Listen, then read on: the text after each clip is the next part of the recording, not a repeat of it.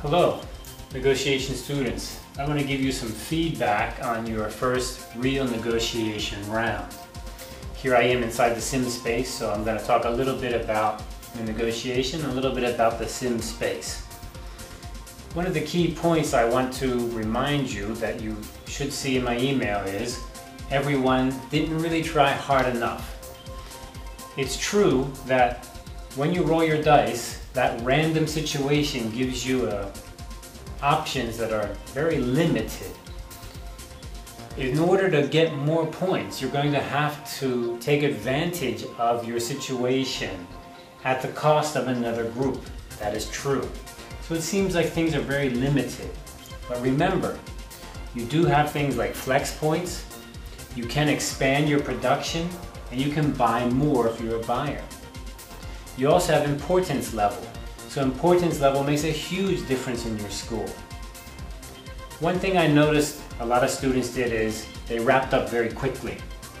They simply found one group and sold everything they had or they bought everything they could buy. And they didn't even really sell everything they had. Maybe half their inventory was sold. Well, if I was your boss and you sold half the inventory and you came back to the company early, I'd fire you. So in this game, it's very important that you look carefully at what the situation is and then take your time. You don't want to take too long if your situation is not good. If you have a disadvantage in maybe shipping or quality, you may want to convince other groups to buy from you sooner or vice versa, sell sooner. However, if your situation is advantageous, that is, there's something that other groups want from you, you need to hold out longer to get a better deal. You need to figure out what is the supply and demand in the market. That is how many buyers and how many sellers there are. Once you figure that out, you need to move slowly in order to use time to your advantage. Or if you're at a disadvantage, if your situation is not good, you may want to hurry up because teams that have something to offer can afford to wait.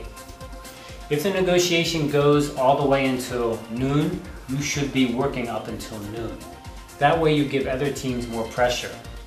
Let's say there's only two or three buyers, everybody else is a seller. Those buyers should be holding out until the very end to decide who to buy from. And the same is true. If there's only one or two sellers, those sellers should be holding out to the end to get the best deal they can. So you need to really take more time. Number one, to see if your importance score is low, maybe you can build a relationship. If your importance score is high, maybe you can find someone whose importance score is low and take advantage of that opportunity. When I say take advantage, it doesn't mean everybody is going to automatically lose over the long run. It does mean that for this time, maybe someone can afford to give you more. That is, you gain flex points you gain a better price, you gain better options, and the other team loses those, but they're willing to lose them.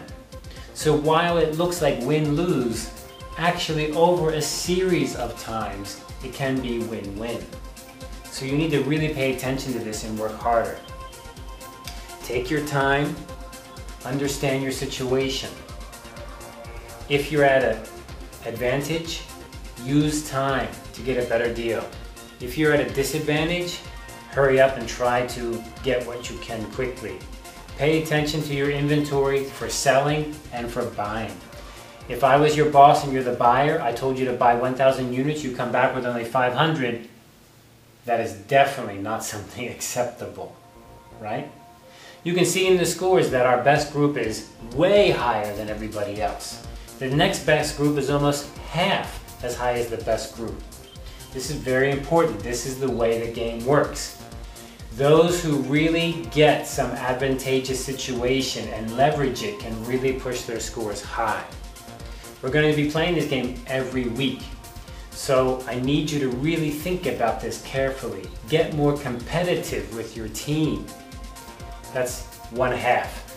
The other half is you need to really practice outside of class. We only have class once a week We have no midterms, no finals, no quizzes, no other homework. I'm not asking you to do anything else.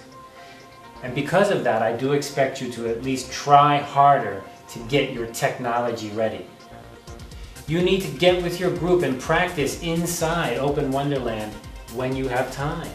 You need to set up times and push your members to work harder. Some people this last week, their microphones were great, fantastic, really, really clear. I loved it. They were able to express themselves and talk well. But then others were still way too loud or way too soft. And some people were still getting echo by having their speaker open and their microphone open. Not using their headphones or not turning on their microphone but using their notebook's microphone. Really, really bad stuff. This is up to your team to make this work. So get with your team at least once a week and meet inside the Open Wonderland space to plan and to practice. As you get smoother, you're going to do better.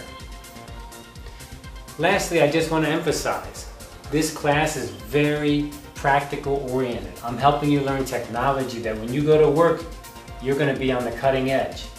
These technologies are used around the world, but Who's familiar with them? Well, you are now.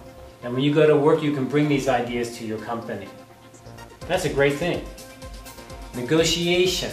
Are you going to just read a book about negotiation that's going to make you a better negotiator? I don't think so.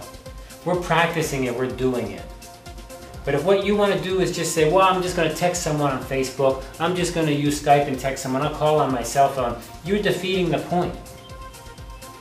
So I'm asking you to get with the system and try. We have all of this ready for you. All of this world is here for you. And I want to introduce to you now something more you can do. You see on that building there, you see that yellow paper up there? That's called a sticky, right? We use them little note stickies, right? You can use these inside the world. You just go to the insert menu and you can insert an object. And this sticky tab is one thing you can insert. And you can right click on it, and when you right click, you can take control. And when you take control, you can type things on there. This could be a big help for you because I've seen people walking around and they're asking, are you a buyer? Are you a seller? What are you thinking? What are you doing? What are you offering? Well, right here, you can put these up on your office space and show people what your offering price is, what your starting price is, or what your situation is, or if you're a buyer or seller, you can put them up there. I've put a couple here as an example, but you can go ahead and use it freely as you like. You can put them all around, but of course it'd be great if you put them at your office space, and then when other group members come by, they can visit you and say, hey, I can see this out here. Really useful. So I want you to come into this space more. I want you to practice it more. I want you to explore it more. And you may think right now it's a little bit hard to do that, but the more you do it, the easier it gets, the better it gets. And the same with using English. It's an international class. At Chung Hsing University, this is an international class, and we have some great international students. And I want everyone to try your best to do that. And then someday when you go to work, you'll feel more comfortable. And that's what your boss needs. Somebody like you, more international, more technology oriented, not someone who uses Facebook, right? That's everybody. Well, not me, I don't use Facebook, but that's everybody else besides me. All right, so I want you to keep that in mind, right? Half of this class, get serious about your negotiation. Get competitive, work to win. You can win and the other teams can win too, but don't you sit there and get the score one and another class, another group has 50. That's really far off. Unless next time you're gonna get that 50. So get competitive, get planning, get thinking, Number two, practice more. Come into the space, work with your group, develop a team. The best negotiators have a good team. They know each other, they have a feel, they feel smooth, they trust each other. You need to work with your team.